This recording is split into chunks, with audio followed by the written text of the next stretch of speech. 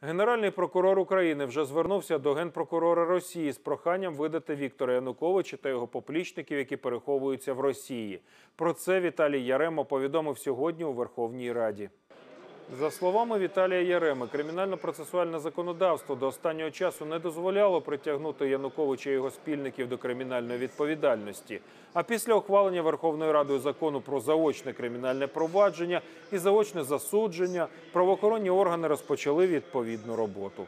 Справи, е, які стосуються направлення до суду Януковича і його прибічників, я б з задоволенням і, і, е, не менше, ніж ви переживаю, для того, щоб їх направити до суду. На превеликий жаль, ані прокуратура, ані оперативні служби ми сьогодні не спромозі їх дістати до, е, із Російської Федерації. Я звернувся до генерального прокурора Чайки Російської Федерації з проханням, щоб їм екстрадували на територію України.